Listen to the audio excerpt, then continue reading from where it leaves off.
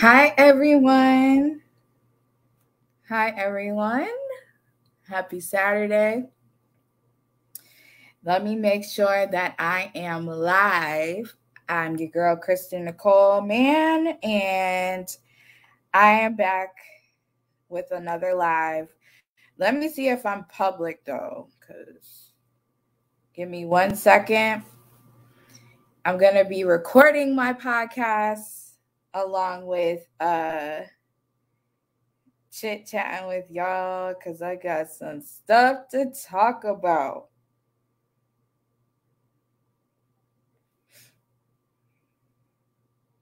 Okay. And make sure I share it to my pages. Well, just one. Okay. So let me make sure my podcast is on and then I can get started. All right. Take my earring out because my podcast.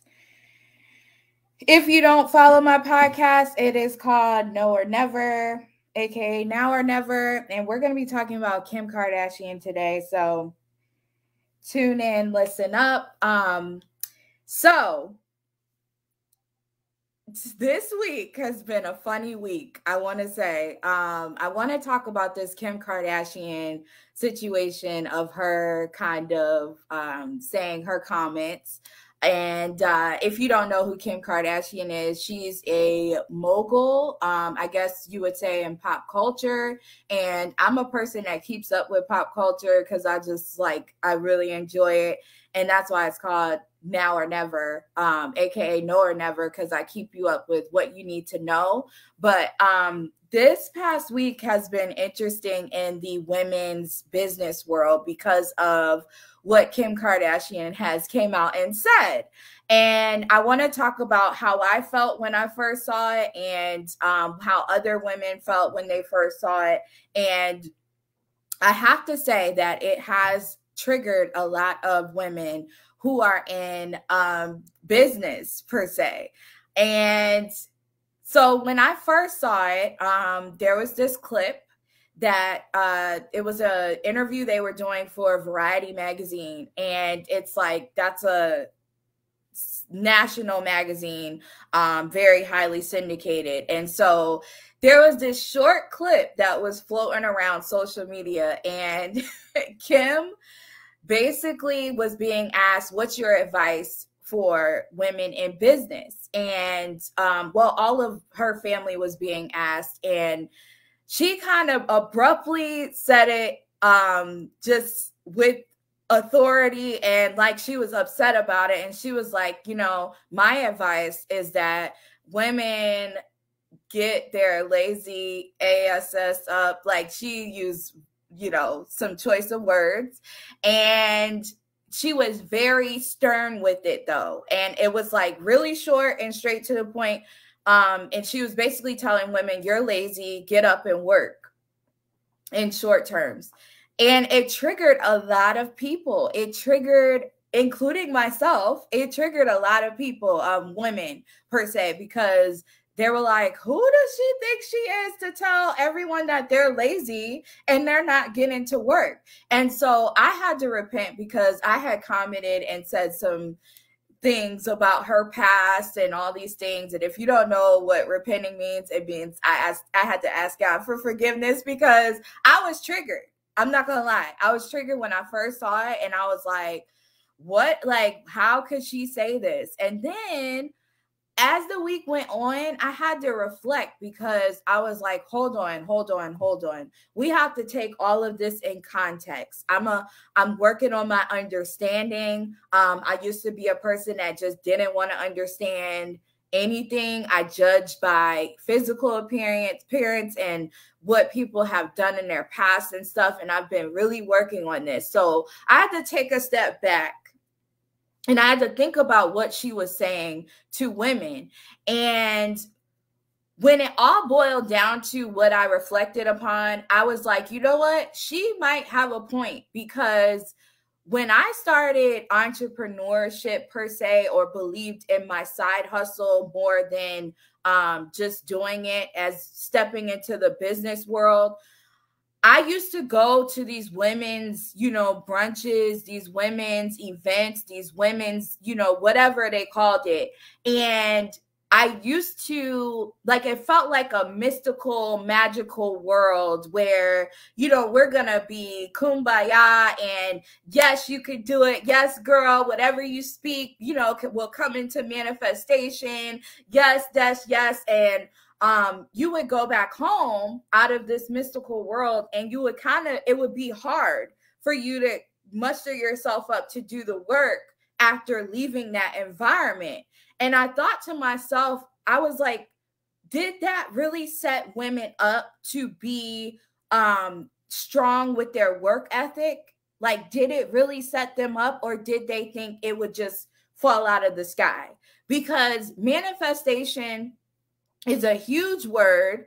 You see it like talked about all the time. Um, it's even in the Bible. Um, it's even in the non-Bible books and all these, you know, it's everywhere. But I was like, I had to ask myself, did that really set women up to have a good work ethic? And then I started dissecting like, who do I learn from?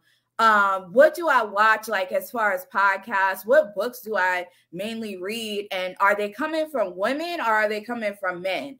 And to my surprise, I actually listen to more men's podcasts and YouTubes and um I take advice from men more than I do with women. And I had to ask myself, why do I take advice from men more than women? Well, men, they're not emotional about their decisions. They just do it. They always have a purpose of why they're doing something, whether it's survival mode, whether it's for their family, whether it's just like, you know, something. It's always a purpose of why men step into whether their career or entrepreneurship. And I like that. You know, I I don't I'm not an emotional person myself. So when it comes to you know these women spaces that i used to go to to try to get encouraged i really couldn't relate you know i really couldn't um I could to a certain point, but I was I, I just wanted the emotion to be taken out. And so when we look at Kim Kardashian and her life, she grew up around this. Like she grew up around people with heavy influence. Um, her father was an attorney. She um, he knew a lot of famous people. She lived, you know, in the um, Beverly Hills sector of this country um, in California, and she's seeing this growing up day to day, like people really getting to work and um, enjoying the fruits of that. And so when you step back and you kind of like take how you feel about the person out, you start to understand that she might be actually uh, telling the truth about women in business per se, because and I think most of the people that were triggered, unfortunately, were women with more disadvantages than other cultures. Like it was a certain culture, um, including my culture. We were the main ones that were upset. Like we were the main ones, like coming at her, talking about her past. You know, with um, she has a lot of things that you could look her up. You could Google her. I'm not going to say what it is because I don't want to go down that path, but um, she has a lot of things, you know, that was on her um, track record of, you know, her getting to success, but also what we consume as women, we don't take it into consideration that if we consume their show or we consume their products, we consume all these things that they have, it's their business. We're actually paying into their work. And so we can't get mad at Kim Kardashian for saying what she's saying because she's actually out here working. And when she said it and it went viral and it was shared and people kept talking about it like I am now, um, this is her work. This is like she used her influence to uh, say something that she may see women not saying. We don't see a lot of women kind of talking about the structure of how things should be in place. We more so see them talk about you need to empower yourself to get to that point. But ra- very rarely we hear women talk about the steps, like the core steps we see the men talking about it. They're in their you know, on their podcast with several men. Um, for instance, I watch um Eric Thomas podcast all the time, but it's for men. And they all talk about their lives, how they uh, view things, but the common denominator is that they get to work. They get to work. Women I have some podcasts that I like to listen to. Um, um, what is it called? Patrice Washington. I listen to her podcast a lot. Um, and she talks about finances. I listen to uh, Rachel Luna's podcast. You can look all these, you know, things up and listen for yourself. Um, but I rarely, when I look and dissect on what really speaks to my soul and my spirit is that it's it's usually spearheaded by men because men are really good with leadership. Men are really good at putting their mind on something and getting it done. And um women we can do that too but i think sometimes we lose our purpose quicker than than the men because we have so much going on. We're mothers. We some of us may be wives. Some of us are single without mothers and we're just kind of like trying to figure it out. Um and yeah we have these act the access to all of these things to help us but we are when it comes down to it women are really emotional creatures. We um kind of sway with what's going on and we don't really try to cut out the emotion um, we really have a hard time sometimes making decisions. And so when Kim Kardashian said that, I kind of went back and read the comments outside of my comments.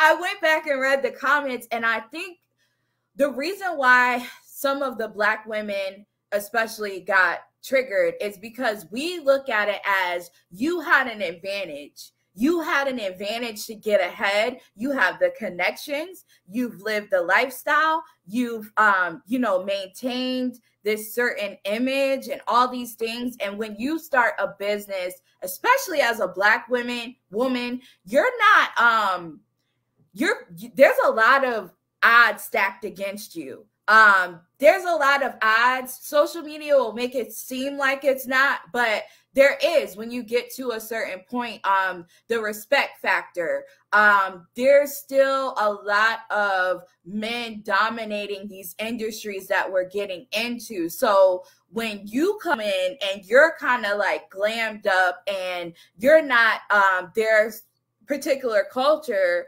and they're just seeing what has been ingrained in them and we got to think time is different. Time is different. It's no longer the baby boomer era, it's now the millennial era. And now we're taking, you know, leadership and taking stuff by storm. And now we're the the adults with the children. And so things are going to be different. And when I look back at the women who influenced my life, um, I you know, I appreciate the women seeing them go to work. I have aunts that worked all the time. My mom worked, um, she went to college and had a career. Um, and all the women that I've seen growing up, they always worked, but they didn't necessarily show the purpose of them doing the work. They necessarily they didn't say really the reason why they were working. So I just saw the action, but I didn't really see the reasoning behind it. And I think women sometimes give other women a disservice by not sharing, you know, certain things and not saying like there there's a structure to this. You can't manifest everything where it's going to just fall from the sky. There's actual steps of action that have to take place. So whether that's um, you have to work on giving back to the community more, whether you have to work on financial like finances um whether you have to work on communication these are the things that were kind of left out on in the entrepreneur realms um, when I went, and it was specifically women. It was all these mystical things like, I am great, I am this, I am that. That's great and all, but when you get yourself to a point of encouragement, that's when you have to execute. And that's what Eric Thomas and them always talk about execute, execute, execute. And for some women, that's hard. For some women, that's hard because their emotions are in the way. Well, I can't. And you see men, they just like do it. They just be like, I got a family, or I'm single, I want to go on trips, or I'm this or that. Like, that's going to be my purpose, and that's what I'm going to operate in. I'm going to work for this specific purpose. And so when Kim Kardashian comes out and she says with um, some choice of words like "get yourself to work" um, and stop being lazy, a lot of people were triggered. They showed their true colors of where they were at mindset wise because they felt like she was scolding them. But, and I did too. But then I was like, you know what?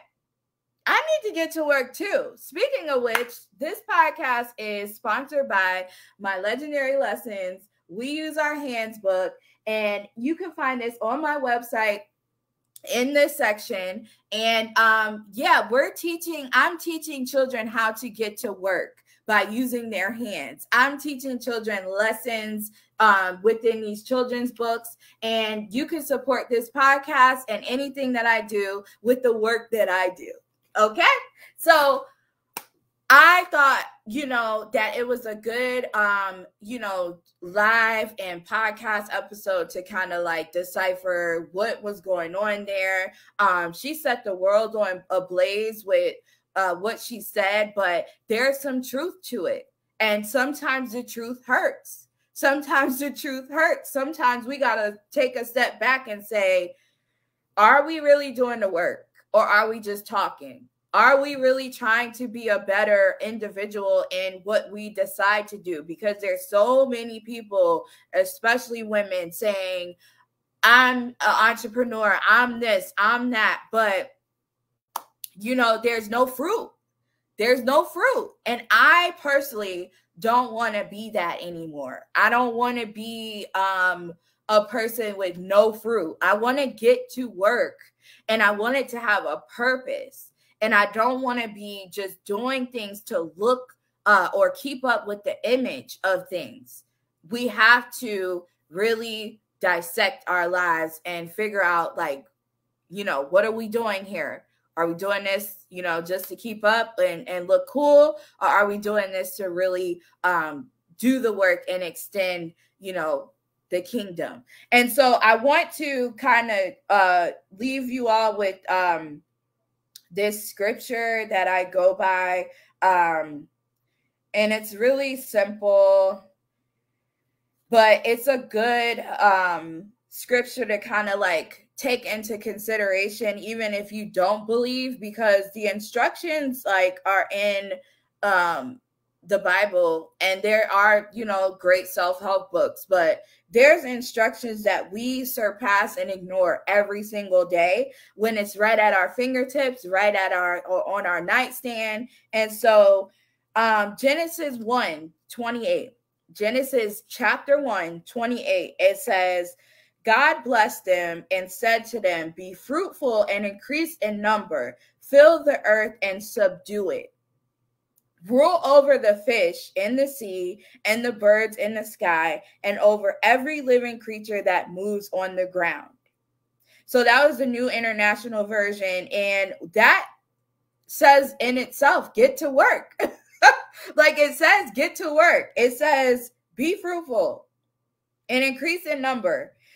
It says, fill the earth not sit back and um, wait for the manifestation to happen without you even doing any work. We can say things and our lives can line up to it, but there's still some work in between. And it says, subdue it. Let's look up what subdue means um, before I end this because I really like to know certain definitions of things. Subdue, overcome, or bring under control a feeling or per, a person. So it's literally saying overcome. To me, how I'm interpreting this scripture is overcome the emotions that you have and get to work.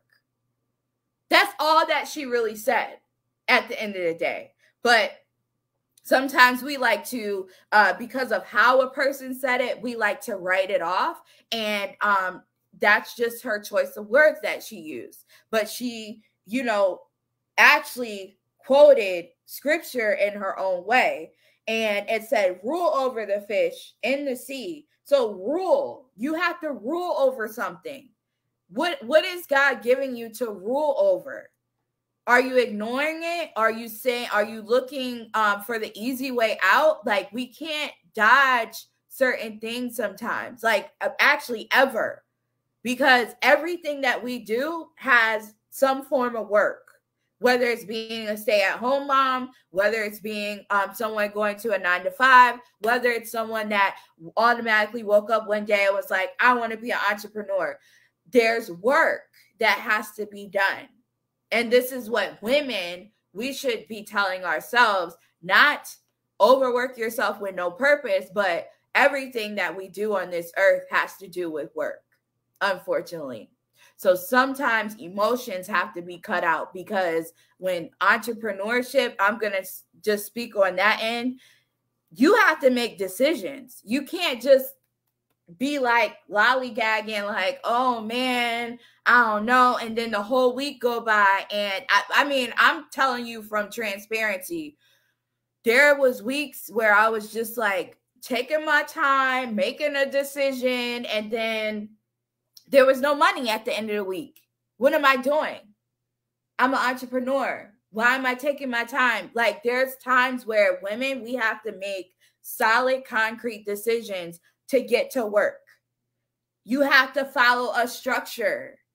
It's not going to just fall out the sky. And I really think the women empowerment movements um, in the past, you know, in the early 2000s, mid 2000s, before COVID, um, really set women up to think like, if I just only speak positivity into my life, everything's gonna work out you can be positive, but be positive while you work.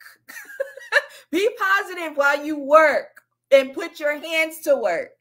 You know, like we can't just say things and think that it's gonna happen. And so that mindset has changed my whole way of talking to kids, speaking into their life, because we don't want to set our children up for failure. There's work. There's work even if we do do the cute stuff of saying who we are and repeating these affirmations and repeating all these things that's there's still work. You still have to get to work because affirmations don't pay my light bill affirmations don't pay my car bill affirmations don't pay now if i get to work and i put them in a book and then i publish the book and then I market the book and then I do all of those will pay my light bills and pay my car note. But what people how they interpret this stuff sometimes, especially women, they'll say, Well, I'm going to make a million dollars today.